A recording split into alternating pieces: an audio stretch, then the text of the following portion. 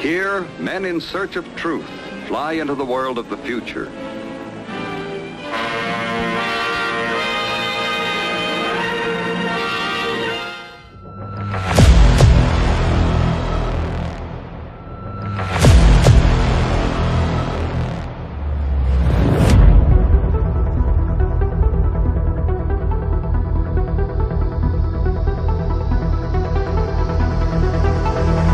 Frankly, uh, I would say that the Air Force Test Pilot School is the place to be.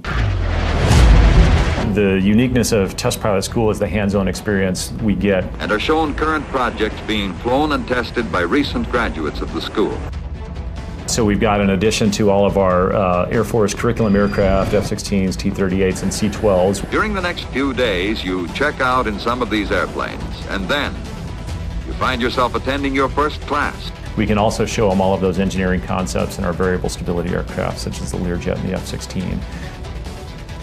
I can't think of another school like uh, the Air Force Test Pilot School that, that does what we do and the way that we do it.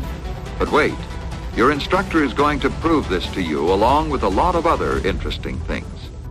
We are the ones that understand the best or uphold the standards of world-class risk management, adaptable test solutions, and a relentless focus on the warfighter. That's what test pilot school graduates are expected to do.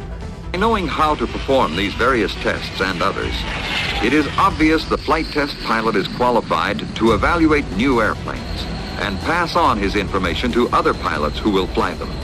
But making an impact on the future of a weapon system is something that is unique and that test pilots have the opportunity to do every single day. Test pilots are becoming experienced in the narrow envelope between conventional and space flight.